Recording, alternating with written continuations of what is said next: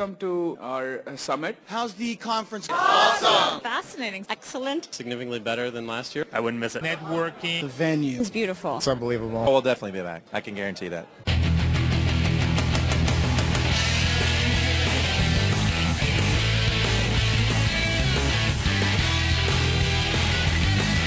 Ten years back, experiential knowledge was what was most important. But in a world that is changing so quickly, you need to you know, work with inferential learning as much as experiential knowledge. You're going to see more and more businesses making use of data at sort of arbitrarily large scales. I think this is something that Mu Sigma can bring to you. And the information age is about manipulation of information, which is computation.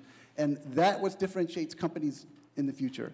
We're all about really differentiating ourselves with computation. I think it will move from, from a science kind of perspective of data and, and what can we do with it to a much more some sort of behavioral science kind of uh, aspect. Yes, people spend a lot of time stroking their phones and living with their phones and talking on their phones, but actually it's also around how they're interacting on the web, how they're doing other activities that we can then integrate that in to get a fuller picture of that customer. The impacts or the investments we've made in product quality, can we quantify that? Can we make some decisions based off of that? And the business is really starting to take hold of that as well.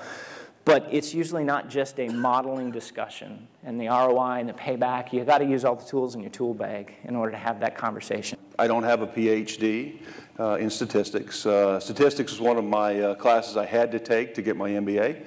Um, but I have a lot of very smart people around me that uh, have embraced uh, uh, have embraced our vision, my vision of what decision sciences can be. I want to thank Mu Sigma for hosting this event. I found it fascinating to be able to talk to the, uh, the many of you in, in, in uh, spaces outside of healthcare, and just the, the common thread is, is, uh, is, is very obvious, and, and I think there's a lot we can, we can do together. And the HR group came to my analytics group and said, hey, is there a way we can use all of this data to try to target high potential hires into the future? So there's an example where we don't have analytics as an overall initiative, but analytics is kind of built into the culture about how might you go about solving problems. The last secret, reward impact, not insights.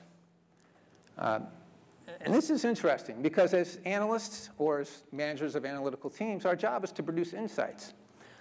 But Ken's thought was, if nobody's behavior changed as a result of an insight, then you haven't added any business value.